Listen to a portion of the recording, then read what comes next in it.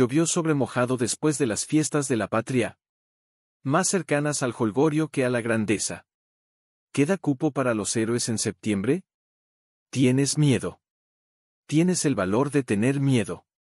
No sabes qué hacer, pero haces algo.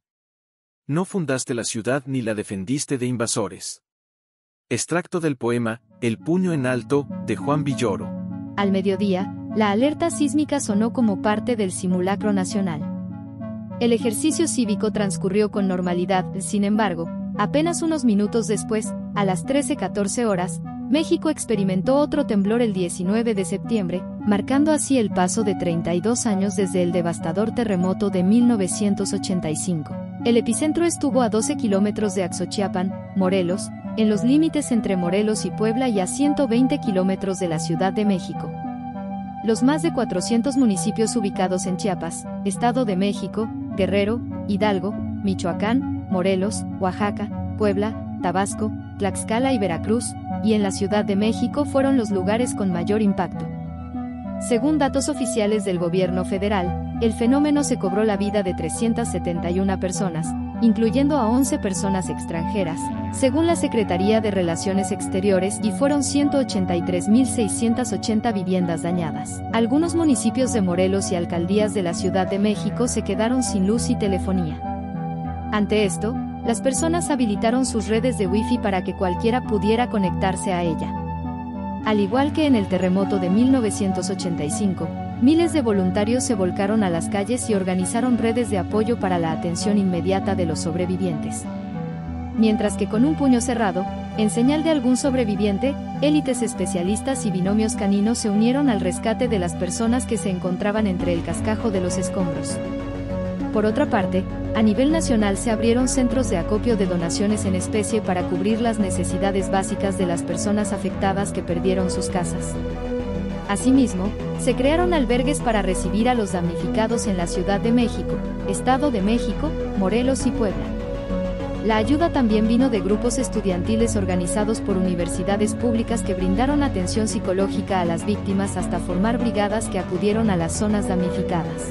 A un año del sismo, en el primer informe de la cuenta pública de 2018 de la Auditoría Superior de la Federación, un órgano técnico de fiscalización de la Cámara de Diputados, señaló que la falta de claridad del destino de los donativos tanto nacionales como internacionales se debió a la falta de transparencia en el registro y seguimiento de los donativos.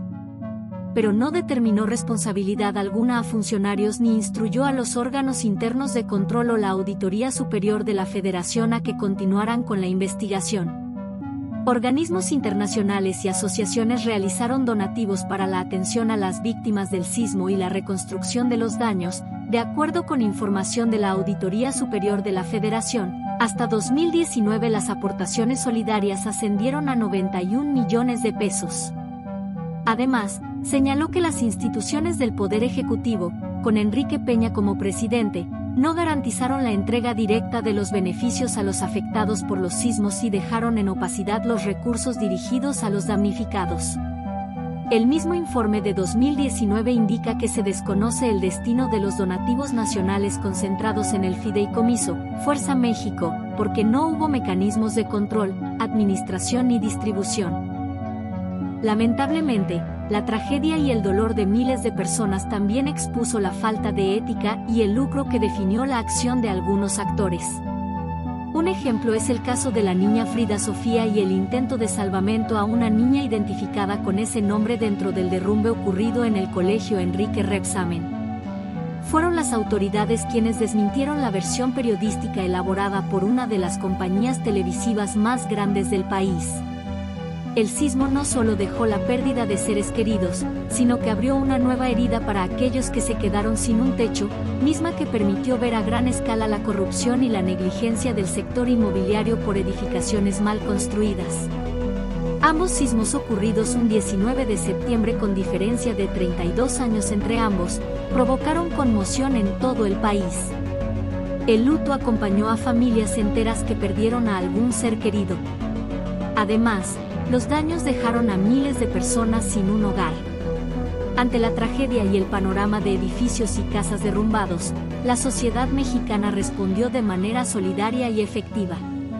cientos de personas fueron rescatadas, se les ofreció cobijo, acompañamiento y cuidados mostrando una respuesta de apoyo mutuo como base fundamental de la vida en sociedad. En honor a todas las víctimas, desaparecidos, sobrevivientes, voluntarios, rescatistas, donadores y todas aquellas personas que se volcaron copiosamente al auxilio quienes lo necesitaron.